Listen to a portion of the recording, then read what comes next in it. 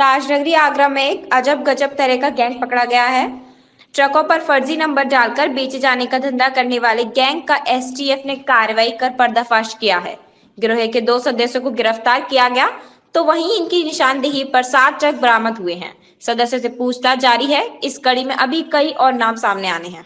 कल रात्रि रकाबगंज थाना क्षेत्र में एक होटल है, पाम ब्रिज आपको तारगढ़ मैदान के सामने वहाँ पे पुलिस को सूचना मिली कि कुछ लोग रोड पे हंगामा कर रहे हैं। मौके पर कई थानों की फोर्स को वहाँ भेजा गया और वहाँ पे लोग रोड पे बैठे हुए थे और एक दूसरे तूतू में कर रहे थे। पता करने पे ये मालूम चला कि राहुल, गौरव और उनके परिवारजन उस होटल में किसी का बर्थडे मनाने के लिए आए थे। इसमें कहाँ सुनी हुई और इन दोनों के बीच तूतू में हो रही थी। बहुत मुशक्क़त के बाद पुलिस ने मामला शांत किया और वहाँ से रास्ता खाली करवाया। इस पूरे मामले की जाँच की जा रही है अगली विधिक कार्रवाई की जाएगी। सर पहले भी अभी क्षेत्रों में फायरिंग होती है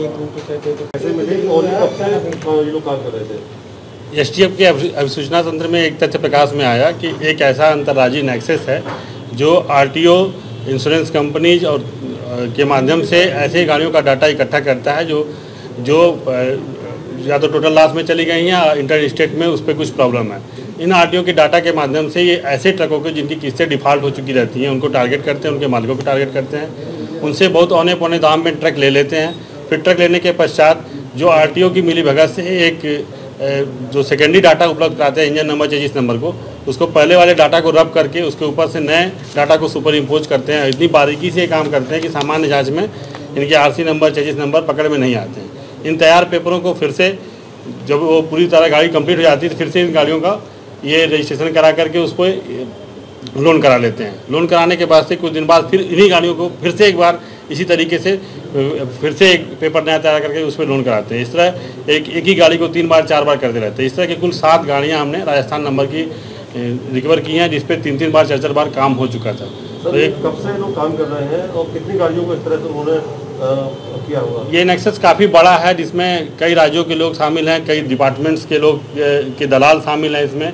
ये, इनका जो मिस्त्री है, उसके विषय में जब जानकारी की गई थी तो उस बताया कि 1990 से हम इस तरह की गाड़ियों पे इंजन नंबर चेजिस नंबर हम डाला करते हैं।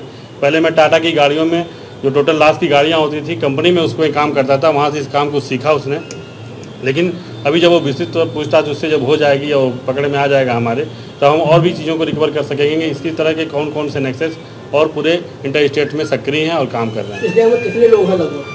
अभी तो लगभग हम लोग 18 से 19 लोगों को चिन्हित हम लोगों ने किया है जिसमें तो की अरेस्टिंग कल यहाँ आगरा में हुई है और शेष पे हम आगे की कार्रवाई करेंगे और इस तरह से और भी गाड़ियाँ बरामद होने की पूरी संभावना